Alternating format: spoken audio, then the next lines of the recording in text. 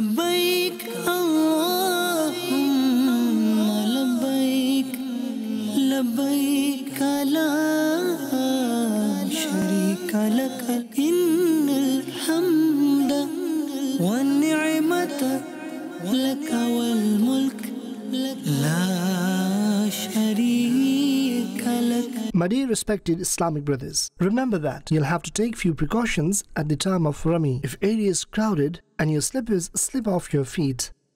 Or if anything falls off your hand, do not bend down to pick it up. Take seven tiny stones in your left hand. Take one extra stone so that you may not face shortage. Say, in case any stone drops down, that you have an extra.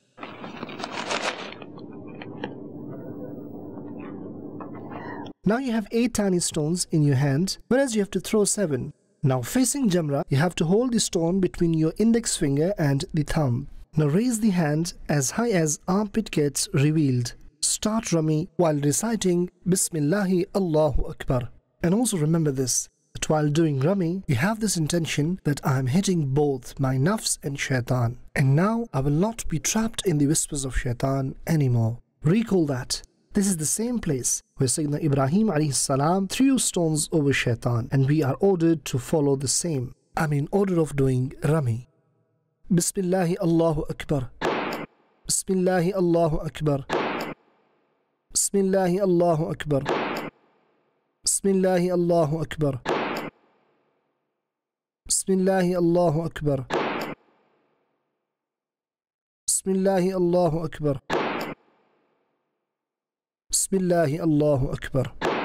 After performing Rami, move forward quickly. Don't stop here. Instead, walk towards Mina.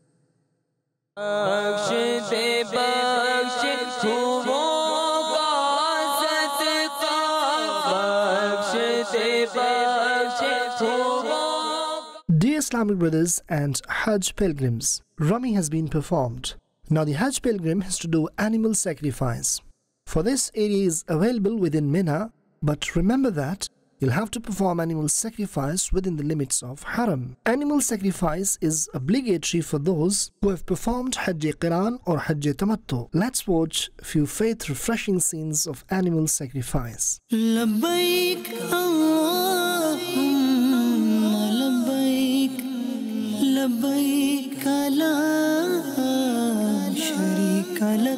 Now, men have to perform halak or taqsir, meaning either to shave the entire head or to have a haircut of at least one fourth of the head equal to one finger digit. Women have a haircut of one fourth of the head equal to one finger digit. This is taqsir. After this, you will not be any longer under obligation of wearing ihram.